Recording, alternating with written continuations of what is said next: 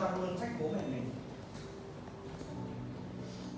Chúng ta đã xúc phạm bố mẹ mình, thậm chí là thoát mặt bố mẹ mình. Chúng ta cãi bố mẹ mình. Và đôi khi chúng ta sai, chúng ta chưa một lần xin lỗi bố mẹ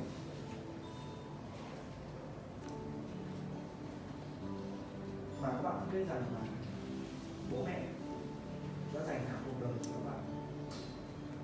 Khi còn bé, chúng ta luôn tự hào là chúng tan trường về. Bố mẹ các bạn đi đón các bạn, ùa ra các bạn ôm lấy cổ